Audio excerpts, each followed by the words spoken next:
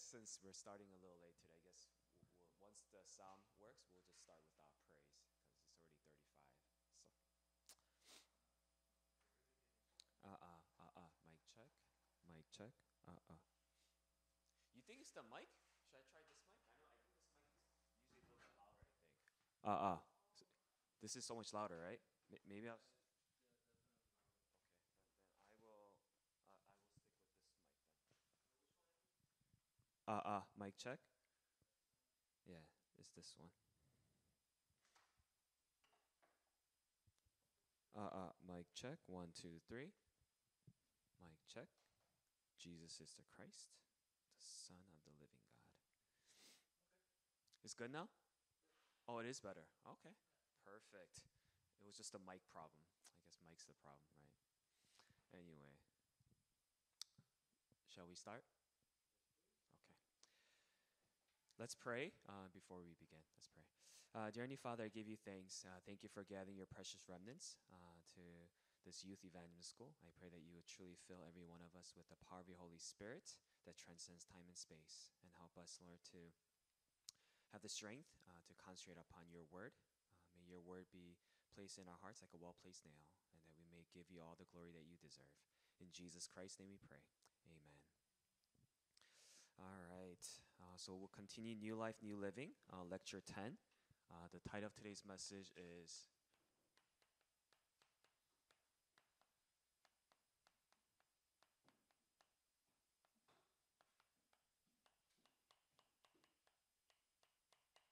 right. Prayer is a spiritual science. And today's scripture verse comes from Jeremiah chapter 33, verse 3. Uh, if you have your Bibles, uh, let's turn to Jeremiah chapter 33, verse 3. You guys should memorize this Bible verse. This Bi- Bible verse is very important. So if, I hope you guys memorized it. Anyway, I'll go ahead and read. It says, Call to me, and I'll answer you, and will tell you great and hidden things you, do, you have not known. Amen.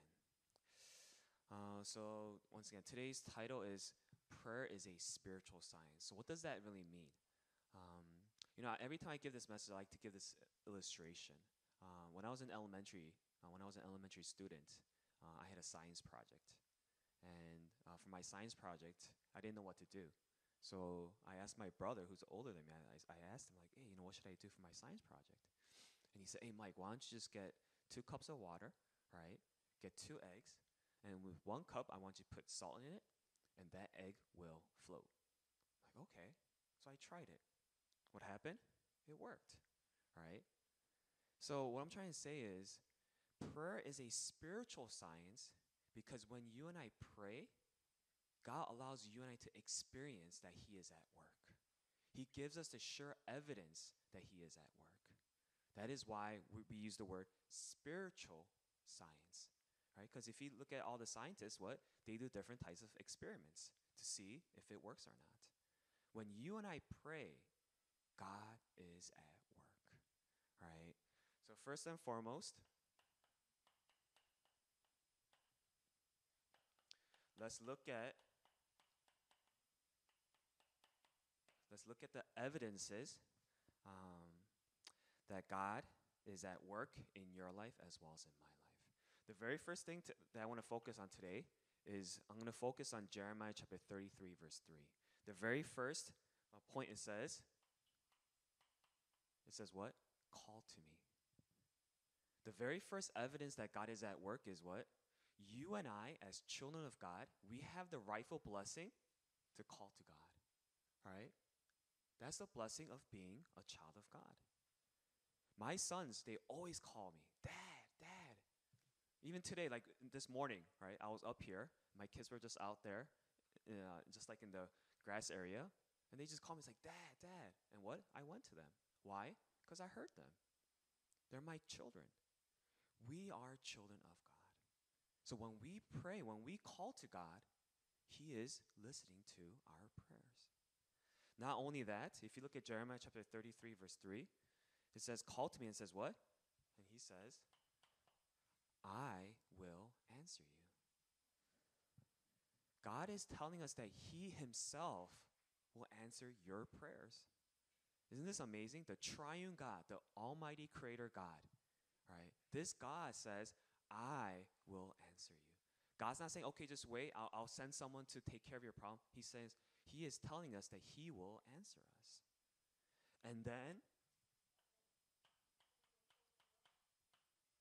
look what says here. And says, and will tell you great and hidden things that you have not known. There are a lot of things that you and I don't know, right? And sometimes you just don't know what to do when you, you just don't know when you just don't know what to do. And that's when we usually fall into unbelief, right? Or we fall into anxiety or worries because we just don't know. But God is telling us that what? He will tell you and I everything. He will help us to realize that He has the absolute answer to all the questions that you and I may have, right? I'm sure you guys all have questions in life. How do you, the questions that you have, how do you go about solving that problem? Through today's scripture verse, Jeremiah 33, verse 3, I pray that this, this verse will be deeply imprinted into your hearts. It says, Call to me. And God said, I will answer you and will tell you great and unsearchable things you do not know. What I just referenced is NIV version because I memorized this verse in NIV, right? But the scripture verse I'm using right now is the ESV because in Darakbang we use ESV. Right? But for me, growing up as a remnant, I always memorized everything with NIV version. So that's how I know it. But as I said, I want you guys to realize this. This is the evidence of how God is at work in your life. First and foremost, He answers you. You know, this week, I, I feel like I talk about this Christian club every time, but, um, you know, I go to this one, one Christian club, um, you know, every Mondays and Tuesdays. And this week, I, I went and I gave a short little testimony, and I talked about uh, the way of salvation. And after everything ended, this one, one student came up to me, and this student asked me this question. Like, I know that, that Jesus is in my heart. I have accepted him as my Lord and Savior. But one thing that this, um, this person was struggling with was prayer. She's like, I know God's with me, but I don't know how to pray. And I just told her one simple thing, right? What do you think I said to her? Pray hard? Right? I didn't say pray hard. I said one thing. I'm sure you go to church on Sundays. So the message that you receive on Sunday, I want you to meditate upon that word of God. I want you to really hold on to that as your covenant Monday through Saturday and see how God fulfills that word in your life. And of course, I didn't use the word 393, but I told her another thing. Always pray with the content of what? The fact that the triune God is always with you, right?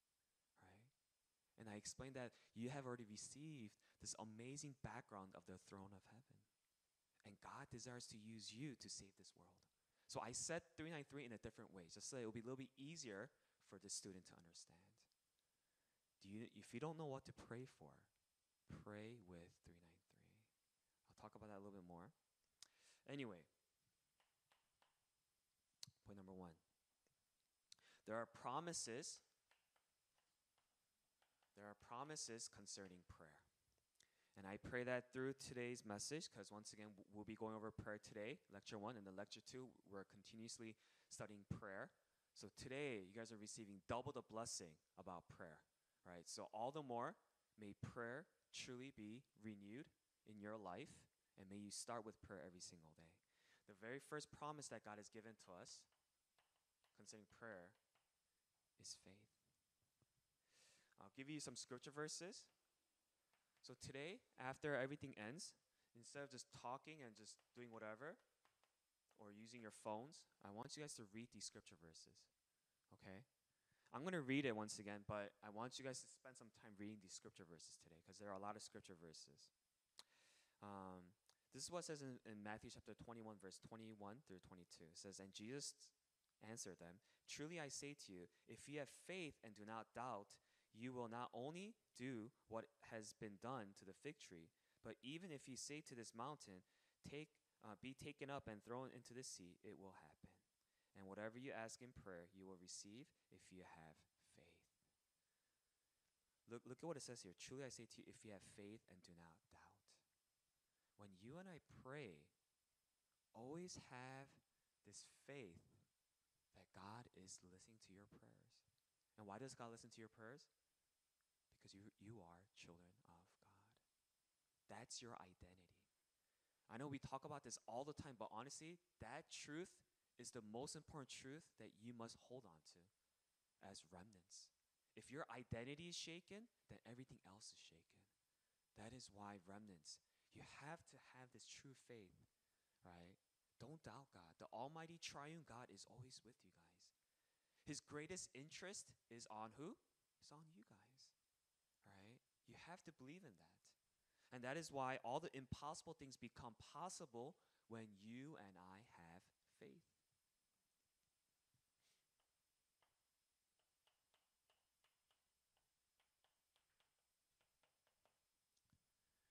What's another promise? God promises the Holy Spirit. I'm going to give you another scripture verse. Luke chapter 11, verse 13, this is what it says. If you then, uh, who are evil, know how to give good gifts to your children, how much more will the, uh, will the Heavenly Father give the Holy Spirit to those who ask Him?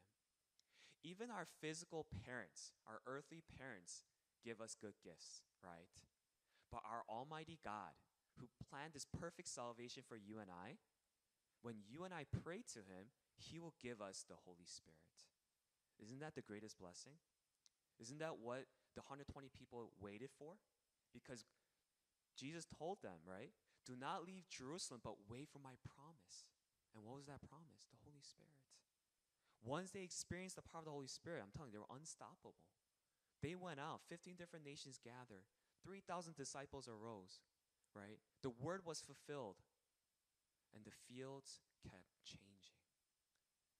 When you and I experience the filling of the Holy Spirit, when you and I experience the power of the Holy Spirit that works upon your life, it's finished.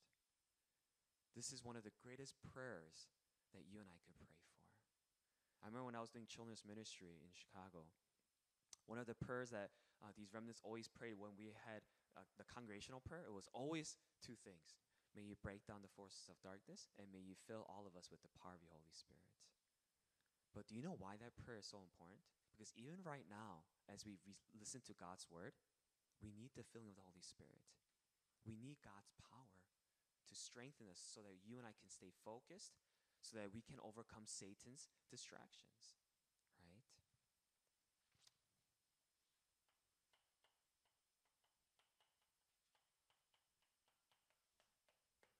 And I don't want you guys to give up in your prayer.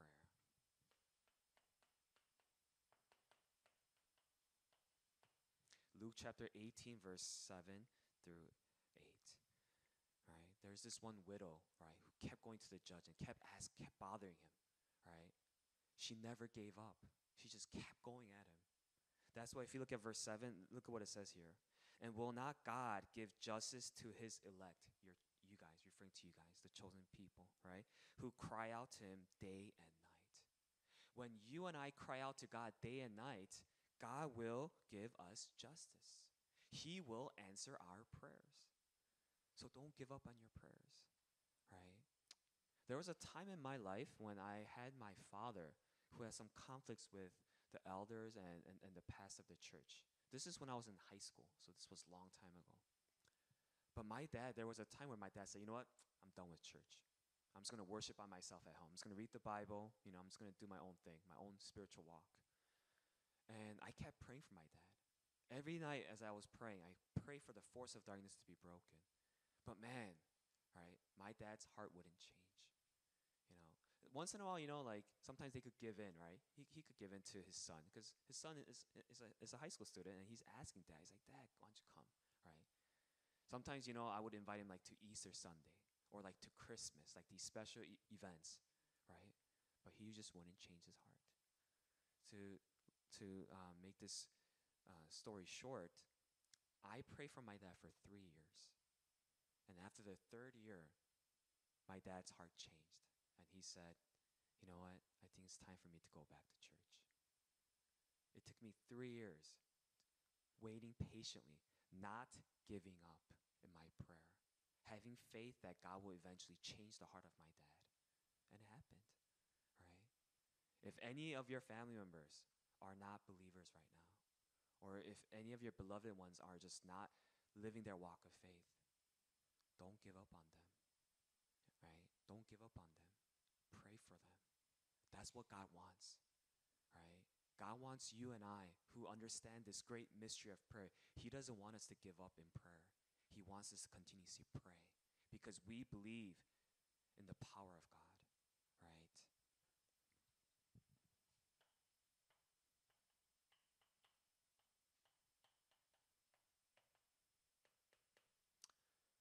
What's another thing that you have to realize is that we have to always pray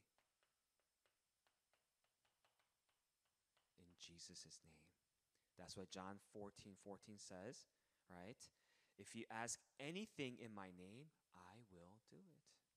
This is God's promise.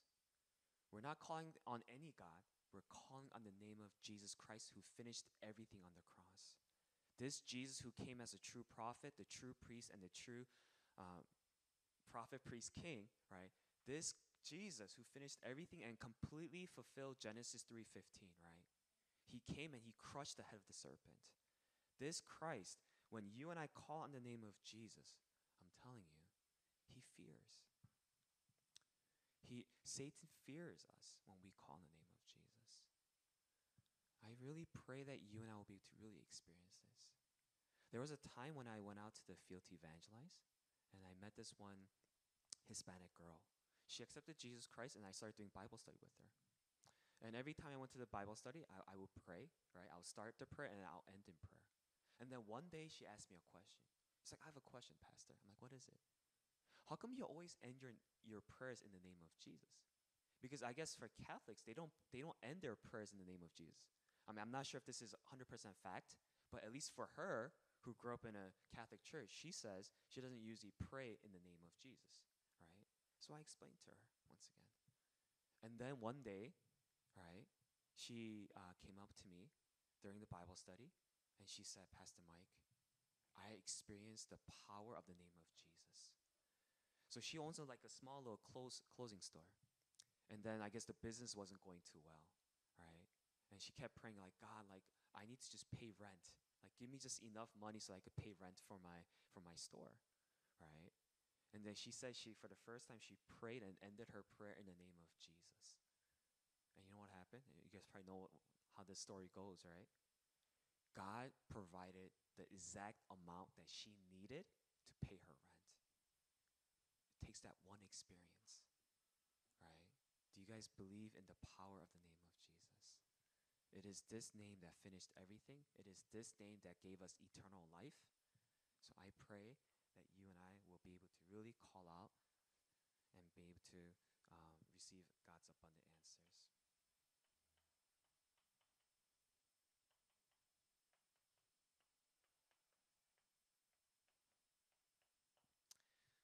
And I want you guys to always pray as you guys remain in God's word.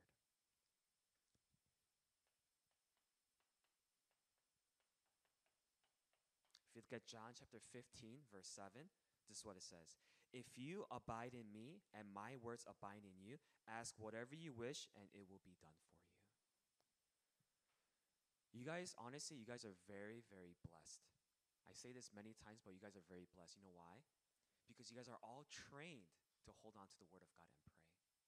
I have so many Christian friends that pray, but their prayer has nothing to do with the Sunday message. Isn't that sad? I can't, I'm, once again, I'm not speaking on behalf of all the Christians out there, but all the Christian friends that I have, right? A lot of them cannot pray holding on to the Sunday message. And when I tell them, hey, let's have forum, they don't even know how to have forum with the Word of God. Isn't that sad? But look at you guys. Right? You guys are trained, right, to hold on to the word of God. Right? We have our prayer journals as well that allows us to continuously, right, examine our spiritual state and continuously helps us to be in the flow of the word of God. Remain inside of God's word. Right? That's the greatest prayer is to pray holding on to the word of God.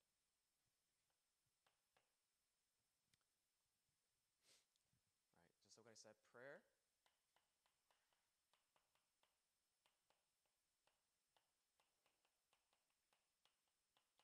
is a spiritual science. So, what happens when you and I pray?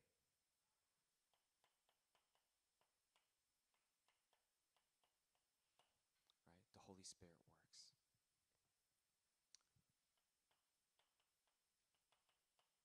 Gave this example, Acts chapter 2, verse 1. Mark's upper room, 120 people gathered together. They held on to the last message, the last pulpit message that Jesus spoke of. They gathered together, they prayed for 10 days. And what happened? They experienced, right, the power of the Holy Spirit coming upon each individual. When you and I pray, right, we, the, us, right, the me, we all get to experience this amazing power of the Holy Spirit. Not only that,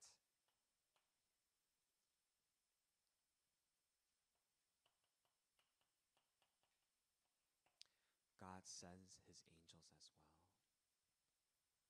I want you guys to believe in that. Every time you and I pray, God sends his angels. Hebrews chapter 1, verse 14. Right? This is one of the uh, authorities that God has given to us, right? If you guys remember the seven blessings of being a child of God, right? One of the authorities. The first three is referring to our identity, and the last four of our seven blessings refers to our authority that God has given to us. Once again, I grew up with just the seven blessings as a remnant. When I was a remnant, that's all I heard, right? You have to know the seven blessings. So I had to memorize the seven blessings. I had to memorize the Bible verses, right? But honestly, to tell you the truth, I'm so thankful that because it helped me to continue to realize, even though I wasn't living my correct walk of faith during my youth years, it still helped me to remember, wow, these are the blessings that God gave me, right?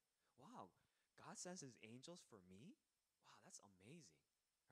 Of course, because we always we always hear the story of like Daniel, right? Of how God sent, you know, the lion, I mean the, the angels to protect Daniel from the lion's den and Daniel's three friends as well. We hear all these stories about God sending angels, but once again, this angel, right, works upon our lives as well. Believe in that.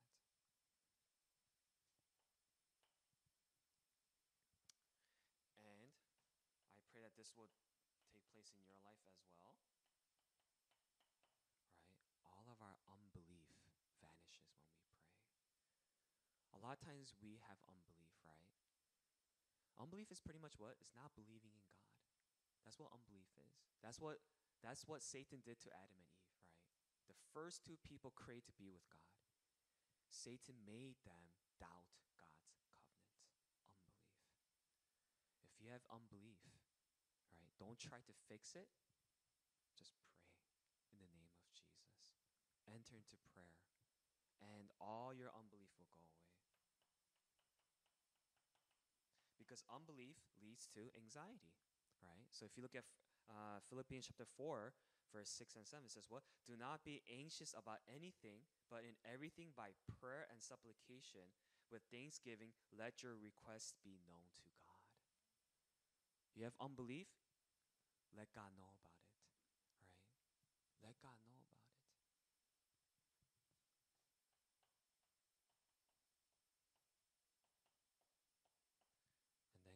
Gives us his answers.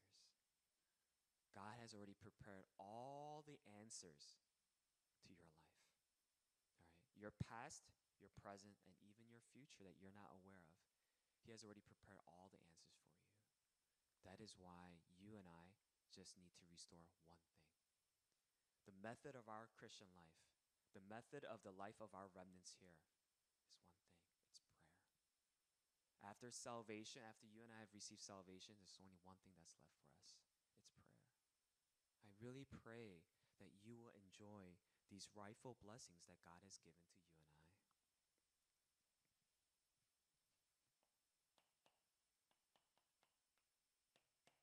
Then, how should you pray?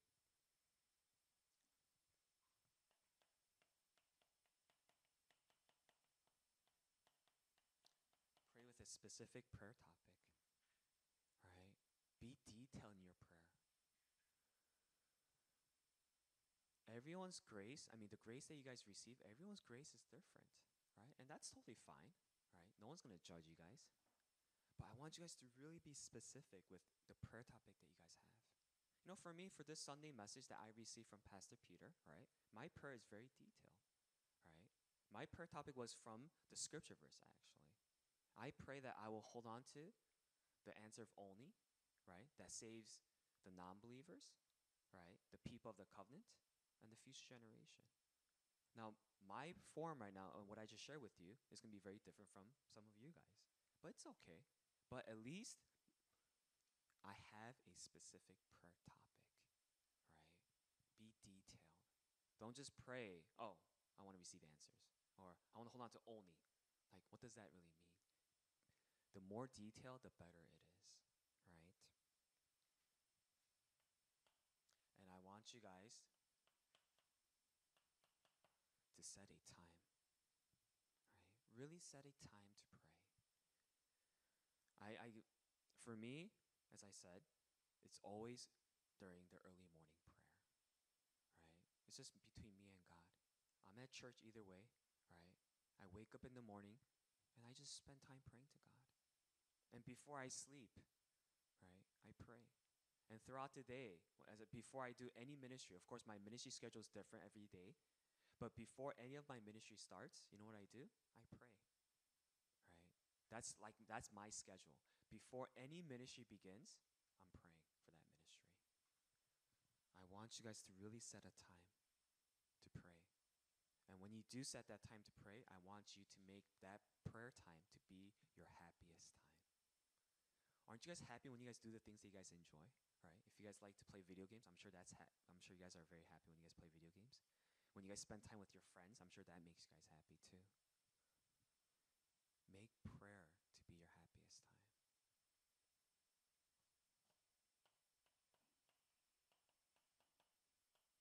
Designate a place as well. Find a place that really works for you guys. Right? I mean, Daniel, if we know the story of Daniel, right? For Daniel, it was his room, right? For him, that was the best place for him to pray. For Peter, who went to the temple, temple was the place for Peter to pray. Find your own place, right, where you're able to fully concentrate upon God alone. And I know phone becomes one of the greatest distractions. So I, I do encourage you, remnants, when you guys do pray, right, to put your phone on do not disturb mode, or just don't bring your phone with you when you guys pray. That's why it's really important for you guys to take notes on an actual notebook paper, right? because then you don't have the excuse of, oh, well, I wrote all my notes on my phone. Then as you're trying to pray and meditate upon your, your message notes, right, and someone sends you a kakao, right, or whatever text message or, or whatever you guys use these days, right, TikTok and all these other social medias, right, then you, you guys are so eager to just look at it. It becomes a distraction. So I really pray that you guys will find the right time as well as the right place. And another thing you guys could do is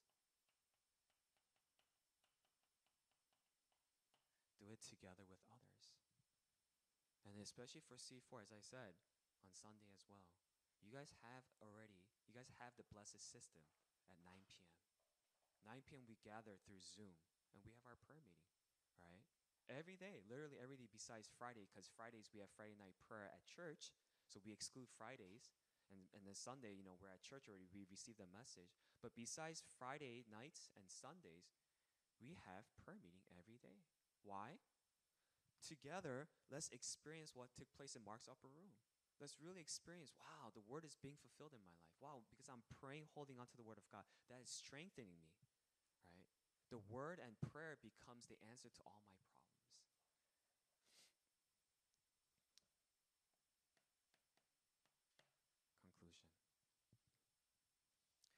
This is what John Calvin said. Actually, no, I'm not going to write it. I'll, I'll just I'll just say it. This is what John Calvin said. He said, Failure in prayer results in failure in your spiritual life. I know that sounds kind of harsh, right? But honestly, it's so true though. I agree with I agree with what John Calvin said. Right? Failure in prayer results in failure in your spiritual life. If you can't pray, you are failing in your spiritual life. So, as I said, maybe you might be like, well, I don't know what to pray for. You know, I don't know if you guys noticed. If you guys, I'll just say this one last point, and then I'll just end. You know, Pastor he talks about 393, right? But you know what he added these days? Do you guys know? You guys, who, whoever listens to the Word of God, he, he added Pastor U's messages. I'm referring to Pastor U's messages. He added this now Fif- 15 answers. Do you guys know that? At least pretend that you guys know. Come on, at least pretend that you guys know. Yeah, right? Yeah. Now he talks about 15 per- answers. Do you know where this 15 answers come from? If just add it. if you just add 3 plus 9 plus 3, it's equals 15. Thank you for the reaction. right? But anyway, what am I trying to say? Now, Pastor Ryu, he just kept talking about 393, but nowadays, he added this. Let's enjoy the 15 answers. And I thought about that. Why did Pastor Ryu all of a sudden, even though we know how to add, right? I mean, it's, it's, we, everyone knows how to add here, right? 3 plus 9 plus 3 equals 15. Maybe he wrote 15 answers. This is just my assumption. It's probably because, once again, we're so imprinted with, I want answers, right? But when we just look at just 393, it's like, yeah, 393. But when we look at, wow, 15 answers. Well, answers? Wow. You know, like your eyes get all big and you're, you're like still excited. Maybe that's why. But once again, these 15 answers are everything. And these are the 15 answers that you guys can enjoy. I really pray that our remnants here, right, as well as AMC, right, I really pray that our remnants, growing up in this age, right, that you guys will not lose hold of today's message of prayer being a spiritual science. When you pray, God gives us the sure evidence that He is at work in your life. All right? So I pray and I bless you in the name of Jesus that throughout this week, you and I will enjoy this wonderful blessing. Let's pray before we end. Dear Heavenly Father, I give you thanks. Thank you for gathering your precious remnants. I pray that this message will be deeply imprinted within their hearts. They will be able to really put this prayer life uh, into action and be able to have the sure evidence and experience the power of God within their lives. In Jesus Christ's name we pray. Amen. Uh, right now it's 11.06. Uh, should we start at 11.15? 11, we'll start at 11.20. So you guys have a little bit longer break this time. But as I said, if you guys can, some of the scripture verses I've mentioned here, I want you guys to spend some time reading these scripture verses. I know I just read it for you guys, but if you guys can, right, instead of just talking and just like playing video games and, you know, just chit chatting, use this time to focus on the word. Amen.